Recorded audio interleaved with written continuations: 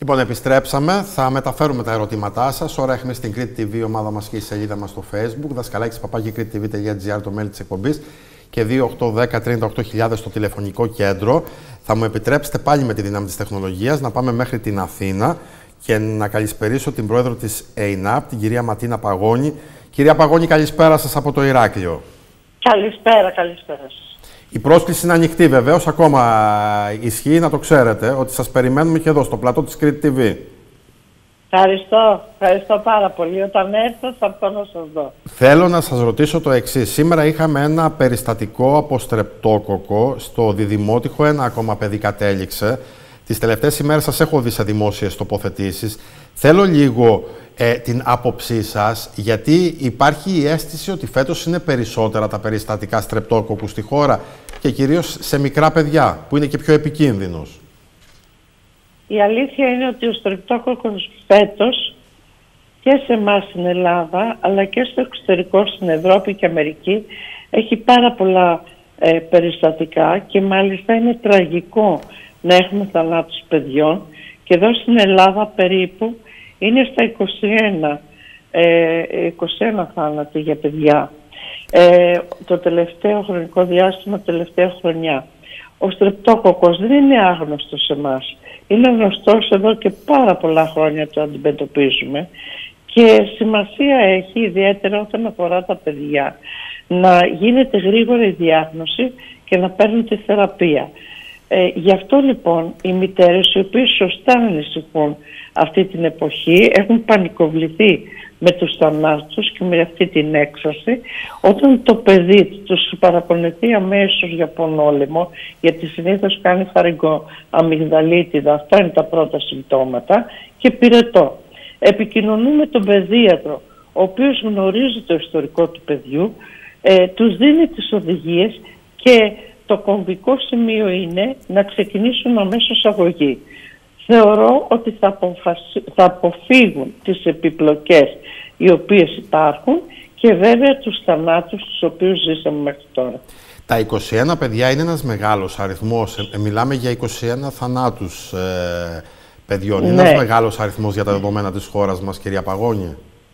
Κοιτάξτε, είναι μεγάλος αριθμός. Βέβαια είναι μεγάλο το χρονικό διάστημα, αλλά για μας έστω και ένας θάνατος σημαίνει μία ήττα. Γι' αυτό λοιπόν οι θάνατοι για τους γιατρούς είναι ήττες.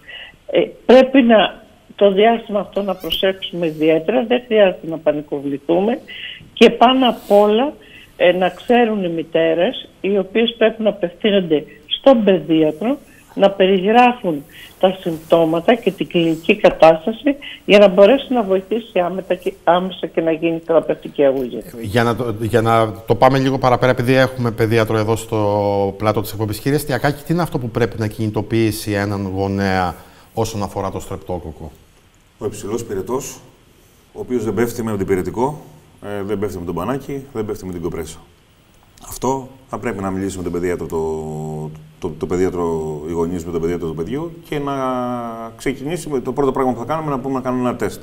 Mm Και αν είναι θετικό, θέλει άμεσα αντιβίωση. Επειδή ο κόσμος δεν έχει, ε, έχει εξοικειωθεί αρκετά με τα τεστ και με τον κορονοϊό και με τη γρήπη, πώς γίνεται το συγκεκριμένο τεστ για αυτούς που δεν το γνωρίζουν; Η μπατονέτα που έχει μέσα το, το τεστ, ε, παίρνουμε σάλιο και θέλουμε όσο το δυνατόν να, να μπει πιο μέσα να κουμπίσει τις αμυγδαλές. Mm Το βαμβάκι που έχει πάνω η μπατονέτα και έχει μέσα οδηγίες, έχει δύο μπουκαλάκια, πέντε σταγόνες από το Α, πέντε σταγόνες από το Β. Ανακατεύουμε μαζί με το σάλιο που έχουμε πάρει και βάζουμε τρει-τέσσερι σταγονίτσε στο, στο τεστ. Αν βγει θετικό στο τσερπτόκοκο, σημαίνει ότι πρέπει κατευθείαν να ξεκινήσει η αγωγή ή πρέπει να υπάρξουν συμπτώματα; Πρέπει να ξεκινήσει η αγωγή. Πρέπει να ξεκινήσει Εφόσον αγωγή. έχει θετικό τεστ, πρέπει να ξεκινήσει η αγωγή. Κυρία Παγώνη, σας άκουσα να λέτε ότι στις περισσότερες περιπτώσεις παιδιών που έχασαν τη ζωή τους είναι γιατί οι γονείς πήγαν με καθυστέρηση είτε στον παιδίατρό τους είτε στο νοσοκομείο.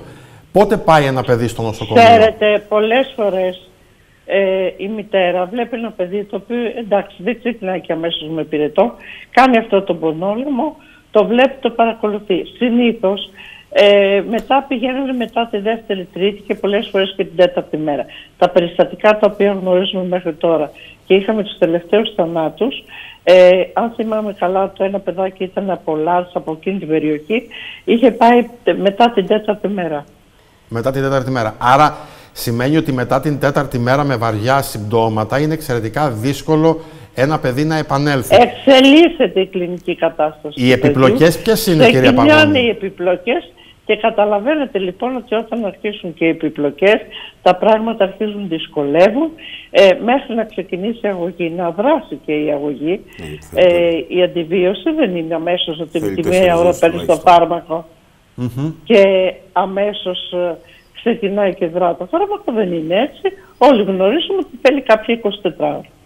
Ε, κυρία Αντωνίου, είναι μαζί μας και η καθηγήτρια ε, πνευμονολογίας εδώ στο Πανεπιστήμιο Κρήτης, όπως και ο κύριος Λιονής, ο καθηγητής Γενικής Ιατρικής, ε, κυρία Παγώνη. Θέλω να ρωτήσω, κυρία Αντωνίου, ε, ένα από τα συμπτώματα είναι και η πνευμονία; Ναι, από προφανώς, ο στρεπτόκοκος της ε, πνευμονίας ή πνευμονιόκοκος ε, προφανώς κάνει πνευμονία της κοινότητας, είναι η πιο συχνή αιτία πνευμονίας α, της κοινότητος ε, και προφανώς δεν είναι μόνο στα παιδιά, ε, είναι στους ενηλίκους ε, και δυστυχώς ακόμα και σήμερα έχουμε ψηλή θνητότητα της πνευμονίας ε, και είναι κάτι που ο ασθενής και μία ώρα αντιβίωσης να χάσει ε, είναι, μπορεί να ε, αποβεί θανατηφόρο ε, και προφανώς και όταν έρχονται στα επίγοντα περιστατικά η αντιβίωση χορηγείται ήδη από τα επίγοντα πριν ανέβει ε, ο ασθενής στην πνευμονολογική ή την παθολογική κλινική. Α, μπορεί να έχει χαμηλό οξυγόνο και σίγουρα οι επιπλοκές μπορεί να είναι μια ενδονοσοκομιακή πνευμονία, μπορεί να είναι ένα εμπίημα, απόστημα, όπως επίσης και ε, σε ασθενείς που έχουν ε, αυξημένες συνοσυρότητες ε, λόγω ηλικίας ή καρδιαγγειακών προβλημάτων, μπορεί να κάνουν και έξαρση του υποκείμενου νοσήματος, για παράδειγμα μια παρόξηση της χρόνιας αποφρακτικής πνευμονοπάθειας, του άσθματός τους, μιας πνευμονικής σύνοσης ή οτιδήποτε. Κύριε Λιονί, ποια είναι η διαφοροποίηση ε, του στρεπτόκοκου στους ενήλικες σε σχέση με τα παιδιά και γιατί τα παιδιά νοσούν πιο βαριά; Ναι, ε, καταρχάς γίνεται η συζήτηση τώρα για το, για, ε, το ε, είδος του στρεπτοκόκου που πραγματικά προκαλεί ε, αυτή την, τη σχέση με το θάνατο. νομίζω να πριν αναφερθώ στις διαφορές μεταξύ ενηλίκων και παιδιών που σαφέστατα είναι μεγάλες και δεν θα πρέπει να διαβάζουμε ε, τις νοσολογικές αιτίες διαφορετικά ε, με παρόμοιο τρόπο στις ίδιες ηλικίες. Να επαναλάβω αυτό που είπε η κυρία Παγώνη που χαίρομαι πάρα πολύ που την άκουσα γιατί έχει σχέση και με το πρώτο μας θέμα ότι κάθε θάνατος είναι μια ήττα. Είναι πολύ μεγάλο αυτό που είπατε κυρία Παγώνη. Είναι μια ήττα για το σύστημα, είναι μια ήττα για το φορέα υγείας.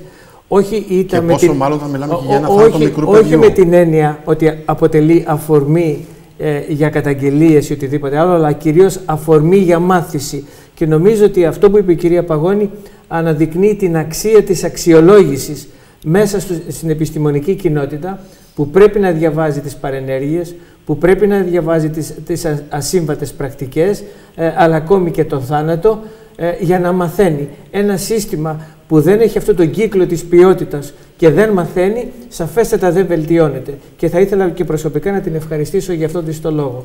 Τώρα, ε, ε, είναι αλήθεια ότι ε, η τεχνολογία σήμερα προσφέρει πολλές δυνατότητες και για τον ενήλικα. Γιατί προηγουμένως ακούσαμε και βεβαίως ο κύριος Τιακάκης μίλησε εξαιρετικά ε, ε, ότι σήμερα δεν έχουμε την ελεύθερη πρόσβαση στο αντιβιωτικό και γίνεται μετά από συνταγογράφηση. Και δεν είναι μόνο το θέμα της διάγνωσης, δηλαδή που θα θέσει ο γιατρός, αλλά και της επιβεβαιωμένης διάγνωσης με αυτή την τεχνολογία, με τα rapid test που υπάρχουν σε όλες τις προηγούμενες χώρες εδώ και πολλά χρόνια. Μπήκανε και στο δικό μας σύστημα, πρέπει να φτάσουν, κυρία Παγώνη, ξέρω ότι μιλάτε κι εσείς πάρα πολύ, και στην πρωτοβάθμια φροντίδα υγείας και σε απομονωμένες περιοχές, αλλά όπως εξαιρετικά είπαν όλοι και ο συνάδελφος ο κύριος Τιακάκης, πρέπει να είναι και μέρος της αυτοφροντίδας. Η λέξη αυτοφροντίδα που θα πρέπει δηλαδή να οδηγείται με αλφαγιώτα η οικογένεια, ο πατέρας, η μητέρα στη διάγνωση και γρήγορα στην προσέγγιση είναι ένα πολύ μεγάλο ζητούμενο ε, σήμερα στο σύστημα υγείας και αυτό τώρα είναι και ευθύνη των επαγγελματιών υγείας και του γιατρού για να φτάσουμε αργότερα και στο ρόλο της πρωτοβάθμιας φροντίδας υγείας που η μεγάλη εστίαση ακούστηκε εδώ είναι κυρίως να παιδεύσει, να εκπαιδεύσει ε, την οικογένεια και τα μέλη πραγματικά για, για αυτήν. Άρα και στους μεγάλους σαφέστατα το θέμα της διάγνωσης έχει μεγάλη σημασία, όχι γιατί οι παρενέργειες είναι τόσο όσο στην παιδική ηλικία, έχει να κάνει σχέση με τη διασπορά, είναι πολύ μικρό το επιδημιολογικό φορτίο που μεταδίδουν, αλλά κυρίως πολύ φοβάμαι ακόμη ε, ότι η χρήση των αντιβιωτικών παρά, παρά πραγματικά την ε, ε, ε επιβολή της συνταγογράφησης δεν ξέρω σε ποιο βαθμό είναι ορθολογική. Άρα ακόμη μεγαλύτερη προσπάθεια και στη χώρα μας που δυστυχώς είναι η πρώτη χώρα στην Ευρώπη ε, στις ανθεκτικές λοιμώξεις. Οπότε νομίζω ότι κυρίως εκεί θα πρέπει να δοθεί για την λοιμώξη. Κυρία Παγώνη, είπατε νωρίτερα... Να πω κάτι, θέλω να συμπληρώσω. Ε, εγώ άκουσα τον κύριο Λεωνίκη και τους υπόλοιπους συνοδέλφου και όντως έτσι είναι τα πράγματα όπως είπαν. Πρέπει όμως, επειδή έχουν θορυβηθεί και οι ενήλικες, είναι αφορά τους μεγάλους σε ηλικία με υποκείμενα νοσήματα, οι οποίοι δεν έχουν ένα μόνο υποκείμενο νόσημα. Οι περισσότεροι έχουν πάνω από ένα-δύο υποκείμενα νοσήματα και καταλαβαίνω ότι είναι οργανισμοί ε, με χαμηλές αντιστάσεις που σε τέτοια βακτήρια δεν μπορούν εύκολα να αντιμετωπιστούν όπως τους είδαμε αυτούς, αυτές τις ομάδες των ασθενών και για τις άλλες ιώσεις αλλά και για το COVID. Τα ζήσαμε αυτά όλα λοιπόν. Αφορά τις μεγάλες ηλικίες με υποκείμενα νοσήματα. Εκεί λοιπόν χρειάζεται να προσέξουν και οι άνθρωποι αυτοί όταν νοσούν από στρεπτόκοκο. Ε, υπάρχει μια διαφοροποίηση. Ας πούμε έχουμε την ιογενή αμυγδαλίτιδα. Είναι ερώτημα τηλεθεατή προς εσάς κυρία Παγώνη. Ε, και έχουμε και την οξία αμυγδαλίτιδα. Ε, αντιβίωση παίρνουμε στην περίπτωση που είναι, έχει διαγνωστεί ο στρεπτόκοκος. Να σας πω κάτι, ένα λεπτό. Να πούμε κάποια πράγματα, γιατί αν αρχίσουμε να δίνουμε οδηγίες για αντιβιώσεις από την τηλεόραση, καταλαβαίνετε τι όχι, πρέπει όχι. να γίνει. Δεν είναι ναι, οδηγίες για αντιβίωση, κυρία ναι. Παγώνη. Θέλω να πω το εξής. Θέλω να πω το εξής ότι όσον αφορά τις, ε, την αμυγδαλή, κάνει φάρικο αμυγδαλίτιδα βασικά ο στρεπτόκουκος. Γι' αυτό και ξεκινά με δυνατό πονόλεμο.